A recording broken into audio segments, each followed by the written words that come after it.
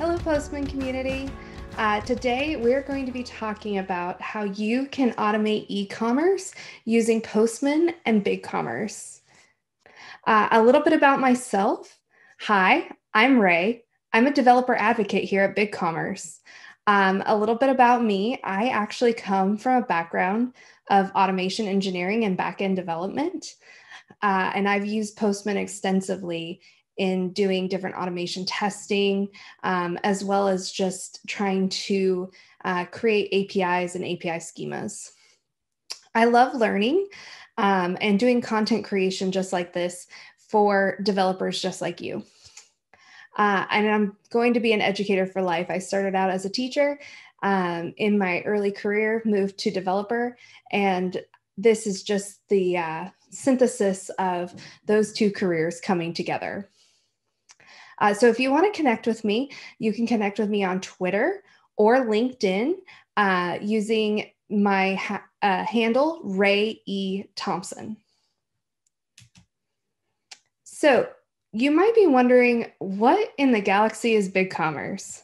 Uh, BigCommerce is an open SaaS e commerce platform uh, we do an API first approach, meaning when we develop something, we take the opportunity to develop the APIs first. So developers like you can build to our platform, and then we iterate on that and do internal UI or other um, features for our platform.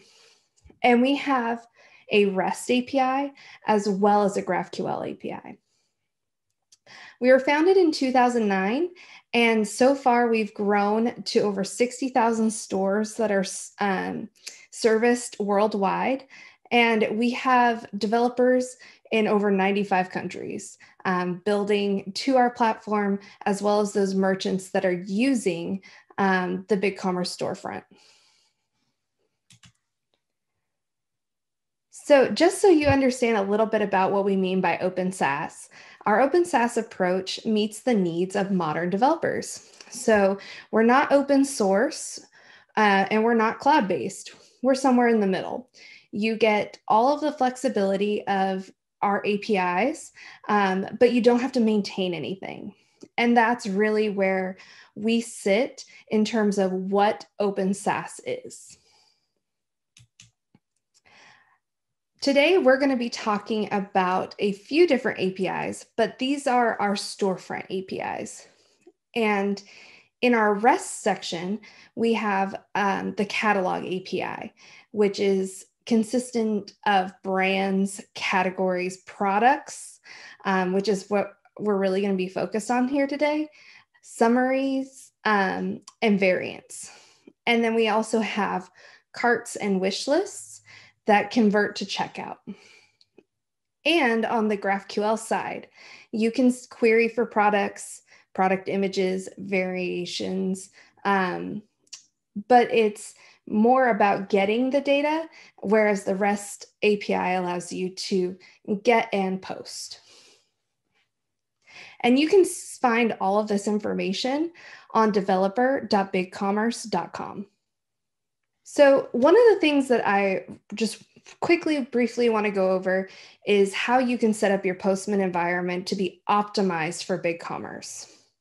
So, you're going to want to go to the BigCommerce uh, store that you're working on and get your scopes, uh, get your auth tokens.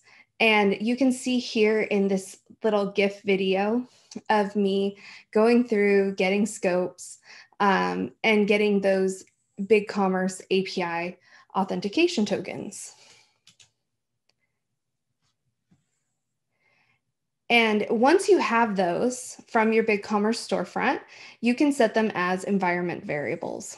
So we have our access token, our client ID, and our client secret.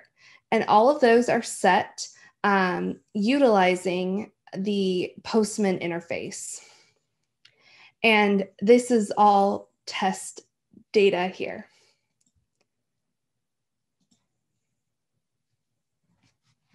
Ah, here we go. Um, so once you have those set, then you can, of course, go into your requests and set those environment variables.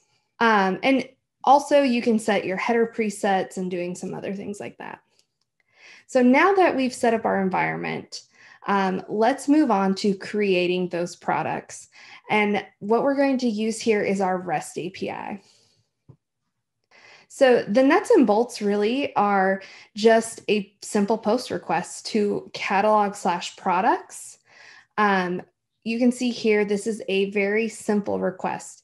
It just requires a name, a price, a weight, a type, and an image. And even the image is optional. And then what we're going to do in the demo that I will play for you is uh, validating the creation using GraphQL. And that looks like this. Um, we have a GraphQL endpoint that you would hit with a post request, and it is just a query of products by an ID. So it is demonstration time. And I will now show you how you can use Postman with BigCommerce. So the first thing that's most important when you're looking at um, doing any APIs to update products or um, do anything in the BigCommerce store is to look at the BigCommerce store. So we're going to do that now. And what we have here is that we can see my BigCommerce control panel and this is where my products live. So I should have actually one product created and it's just a basic t-shirt. And this t-shirt has these properties. So it's a basic t-shirt, it's a physical product, it has a default price.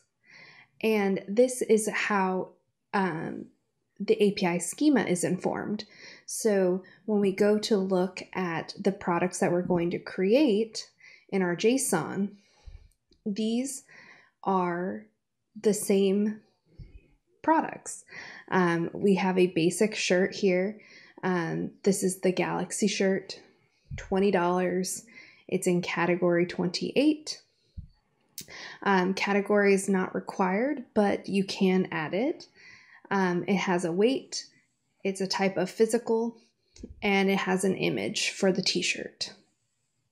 And this is really all you need to create a product inside of BigCommerce. Here I show that you don't need the category, um, but you can include it, and that was a recent development. We have recently updated our API documentation to reflect that you no longer are required to give a product a category. And then we have this product, and this is a what we would call a complex product because it has variants, um, it has SKUs, so you can see different options by SKU. So here, this awesome Galaxy t-shirt, it becomes, um, it comes in different sizes, it comes in different colors. So you can get this color black, and small. Um, you can get it in blue and small and all along down the line. And you can even set um, different prices for different SKUs, different weights, etc. So what we're going to do now is we're going to take this JSON and we're going to use it to automatically create our products uh, using Postman. So if I pull up Postman here, um, we can see that I have a create products uh, post, and this post has uh, just one header, and that's the authentication token. Uh, and it requires the store hash, and this is the link to my store. So these products will be created um, using this authentication token to this store. And in our body, I've really just put in a variable because we're going to use all of the JSON data from that um, file inside of VS Code. And if we go to the test section here, this is how I'm actually going to be able to use that variable. So I've created a global variable called create products and it is getting its information from that JSON object and it's going to iterate over it using the test runner. And the next piece of that is to validate that the products are created. Um, and to do that, I'm actually going to show you our GraphQL API. So we come to a different endpoint that is slash GraphQL. It is authenticated by a bearer token. And it has this body. So it's a query of product IDs. And it's going to give us the first five. Um, that's just because I don't have more than five products in my store, but you can limit this or not limit it. And it's also going to give us the first 25 variants and the first five options. So this query actually is pretty uh, in depth, and this is a standard query. Um, I pulled it literally from our documentation. And the test here is literally just going to iterate through the data that's returned to find if the product name contains Galaxy. And this is just a quick um, test validation that the products are created. So let's go ahead and take a look at this in action. So if we go over to here and go to the test runner,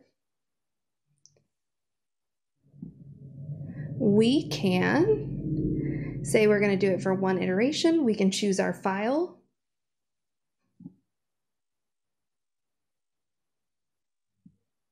I want to save the responses because I want to take a look at them and I want to open the console because I want to see if there are any errors that occur. And I'm going to run it. And it looks like everything passed, nothing failed. Um, I do have this 422 here that I can investigate. And it looks like uh, uh, there was a price missing. Um, and so we can see here, here in the console any errors that occur. And if we go back to my BigCommerce store and we go back to viewing all products, we can see the products that were created successfully. So we have our basic Galaxy shirt that was already here. We have our Galaxy shirt, our Galaxy shirt 2, and we can see from this um, and know from the automation as well that our awesome Galaxy shirt did not get created. Um, and that was due to that price error. Thank you, and I hope you enjoyed this demo. This is all you need to get started with Postman and BigCommerce. So now that you've seen a demo of what you can do with BigCommerce and Postman, uh, we want to invite you to join our community. Uh, we are a community of technologists and we're helping others um, in an inclusive environment. So if you want to come over and check out BigCommerce, help automate processes for merchants, um, you know get involved in development of technology and apps uh, please come join our community at developer.bigcommerce.com uh, or support.bigcommerce.com Thank you so much for watching. Uh, I hope that you guys enjoy the rest of Galaxy Conference. Uh, please reach out if you have any questions. And again, thank you so much. Have a good one. Bye.